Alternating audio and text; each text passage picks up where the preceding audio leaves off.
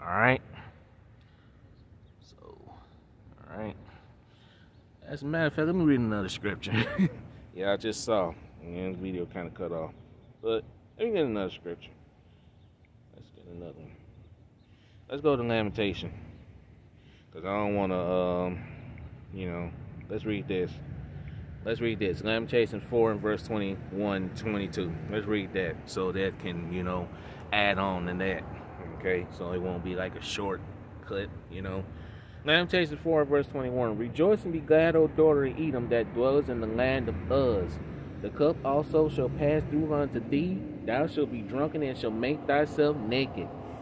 Verse 22 The punishment of thy iniquity is accomplished, O daughter of Zion. He will no more carry thee away into captivity. He will visit thy iniquity, O daughter of Edom. He will discover thy sin. So, our salvation is just about up, man. Okay? Salvation is about up. Sorry, our captivity is just about up. Good Lord, over speaking, stalking.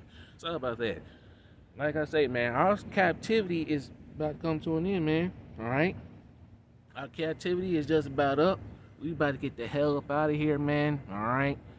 So hey, our salvation is near, man. So like I say, all praise and glorifications go see how about Shem Yahawashi, about Shem Dash. To the next time, Shalom, Kwam Yashim Rollin, Wild Baba Ball, DTA, Wild Baba Ball soon. Let's go. Shalom. To the next time. Shalom.